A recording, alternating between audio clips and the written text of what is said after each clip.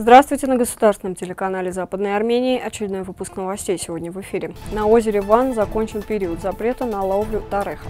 Президент Армен Саркисян посетил компанию «Магирян Карпет». Президент Арцаха Баку Саакян провел встречу с секретарем Совета безопасности Армении Арменом Григоряном. Российские С-400 в Турции могут стать причиной новой холодной войны. Арарат с хэштегом «Армения». Турки раздражены постом National Geographic. Колыбель цивилизации они в центре внимания. В Евпатории здание армянской церкви передано верующим.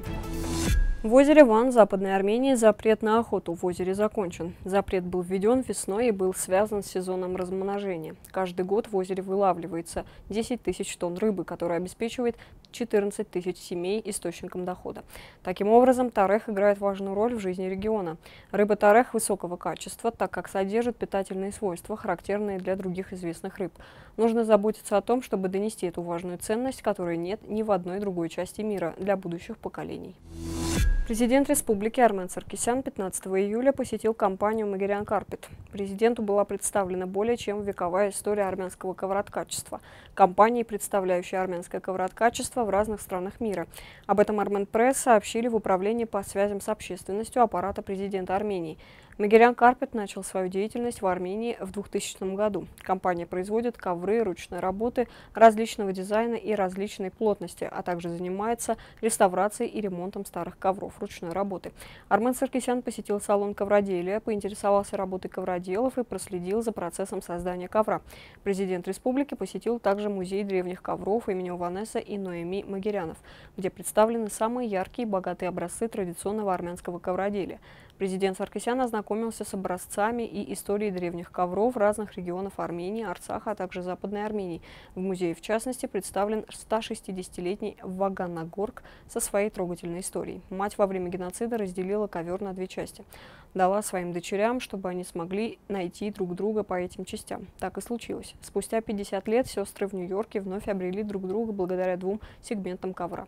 В музее хранится копия самого древнего ковра мира – пазырыкского ковра. Оригинал демонстрируется в Эрмитаже. Ответственные лица Магирян Карпета рассказали президенту республики о текущей деятельности и предстоящих программах развития компании. Президент Армен Саркисян призвал их развернуть деятельность также в Гюмри. Президент Республики Арцах Нагорно-Карабахской Республики Бако Саакян 17 июля принял секретаря Совета Безопасности Республики Армения Армена Григоряна. Об этом сообщает пресс-служба президента Арцаха. Был обсужден ряд вопросов, касающихся взаимодействия между двумя армянскими республиками в сфере безопасности. Во встрече принял участие секретарь Совета Безопасности Арцаха Аршавир Гарамян. Началась долгожданная и вызывающая опасения поставка российских ракетных систем С-400 в Турцию, пишет Кирилл Видершовен на портале oilpress.com. Несмотря на предупреждение США и Европы о том, что Анкара должна пересмотреть российскую эту сделку, чтобы предотвратить экономические и, возможно, военные санкции, президент Турции Эрдоган настоял на своем. Турецкая армия получила первую партию компонентов С-400. Министерство обороны Турции заявило, что в ближайшие дни ожидаются новые поставки, угрожающие не только возможной более агрессивной военной позиции Турции, Турции в Сирии, но и увеличивающие риски в Восточном Средиземноморье в целом. ЕС также сократил объем предварительной помощи Турции до 2020 года и предлагает Европейскому инвестиционному банку пересмотреть свою кредитную деятельность в Турции.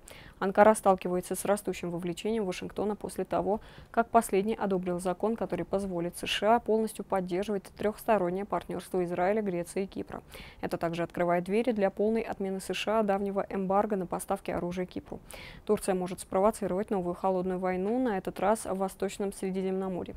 Глядя Глядя на раненое эго Эрдогана, поражение на выборах и потенциальные расколы в его партии растущую поддержку России, неожиданные события и рациональные мысли могут легко привести к дальнейшей эскалации.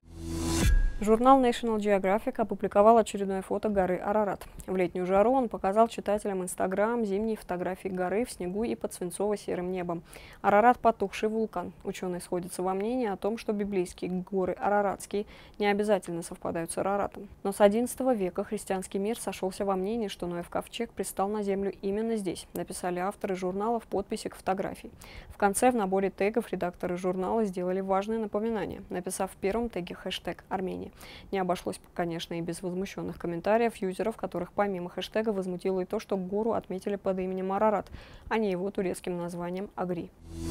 Руины они, называемые также город мира, колыбель цивилизации и город 40 дверей в Западной Армении, вызвали большой интерес у туристов после того, как были включены в список всемирного наследия ЮНЕСКО. Они являются основным пунктом назначения для путешественников, которые посещают Карс и туристов Восточного экспресса. Они посещают как местные, так и иностранные туристы. Исторические здания, армянские церкви, а также живописные пейзажи представляют большой интерес для туристов. В Евпатории местной религиозной организации «Церковь Сурпник-Угайос» переданы в бессрочное безвозмездное пользование исторические здания, которые ранее были закреплены на праве оперативного управления за Евпаторским домом-интернатом для престарелых. Об этом пишет РК. Такое решение принято на заседании межведомственной комиссии Совмина РК, рассматривающей вопросы возвращения имущества религиозным организациям. Теперь здания церкви, церковной школы и дом притча настоятеля переданы армянской церкви в безвозмездное пользование сроком на 100 100 лет. Старинная армянская церковь Сурпникугайос в Евпатории – одна из городских достопримечательностей. Она была построена на месте первого деревянного храма, который сгорел в 1704 году. Фундамент новой церкви был заложен в 1817 армянской диаспорой, но денег поначалу не хватило, строительство затянулось на годы и завершилось в 1830 году. На сегодня у нас все. Далее мы представим вашему вниманию ансамбль «Акунг».